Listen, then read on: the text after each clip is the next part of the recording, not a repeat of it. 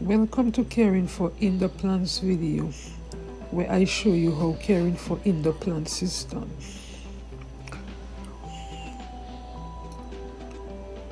Apart from placing plants by the window to receive sunlight and the weekly watering, I care for indoor plants by feeding the soil, feeding the plants.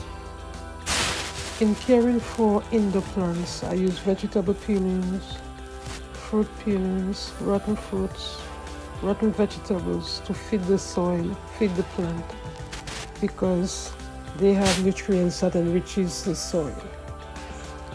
Using a spoon, I dig a hole away from the root of the plant. Try not to disturb the roots so that it remains intact.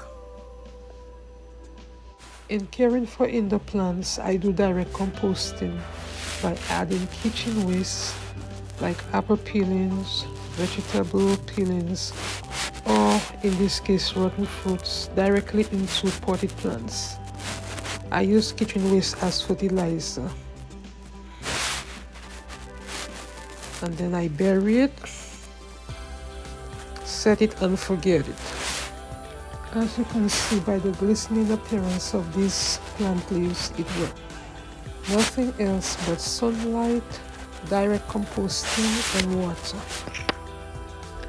Stop throwing away fruit peelings and vegetable peelings or rotten fruits. Instead, use them as fertilizer for house plants.